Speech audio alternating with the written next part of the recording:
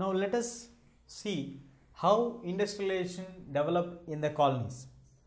Here, industrialization developing in the colonies in the sense industrialization developed in India.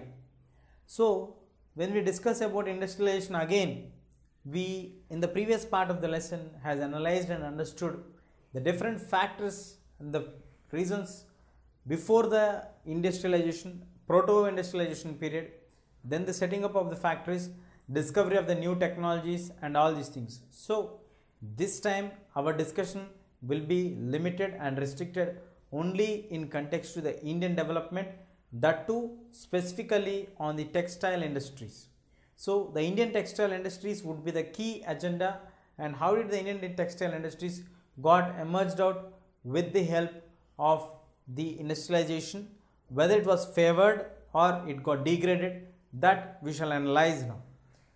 So the age of Indian textiles. Indian textiles, Indian fabric, Indian cotton. Indian cotton has been the finest cotton in the world.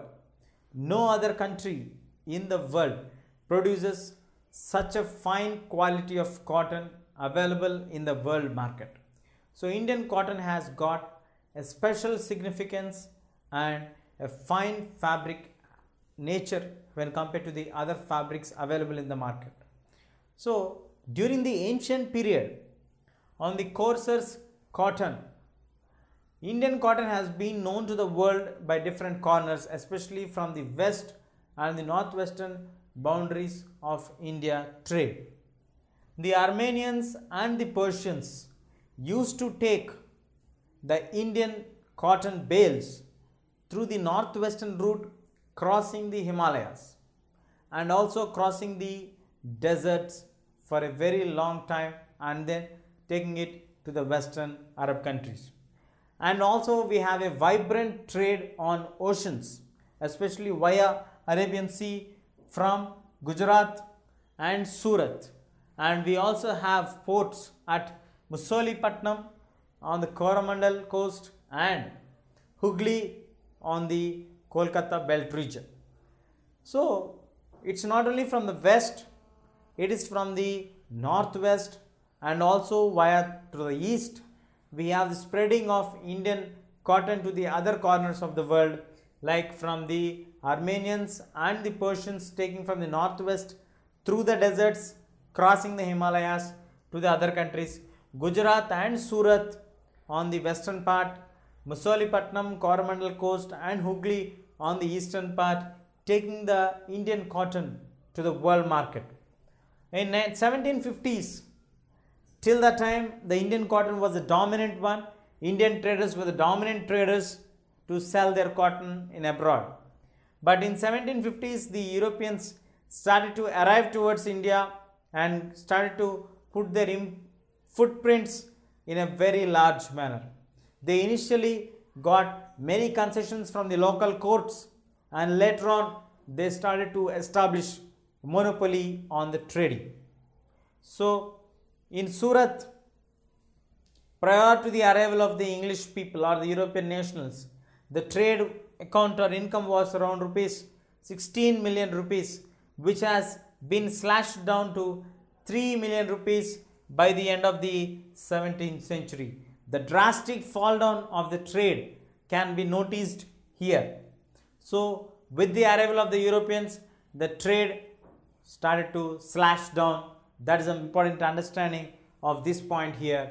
And when we move on to the villagers, how did the villagers get affected with the arrival of the Europeans? The villagers got either migrated themselves because the Britishers forced the villagers to pay or to sell the cotton at very less cost. The first point. Then we shall move to the next point. The villagers they revolted against the Britishers policy and sometimes they even opposed the company officials who came to give advances for them or asking to repay back the amount of money or refusing to pay the loan amounts by the villagers.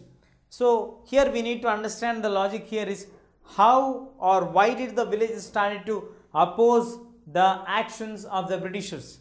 What made the villagers to get migrate from their own hometowns to the other places? Why are the villagers getting angry against the company officials? Why are they revolting against them? Why are they refusing to pay the loans to them? So, in order to understand this one, the first logic is that the company officials initially started to make a treaties with them or a tie-ups with them saying that they need this much of requirement so they will pay certain amount in advance. Once the amount of money is paid in advance for them, that's like a binding the people in order to go and sell their product in the market.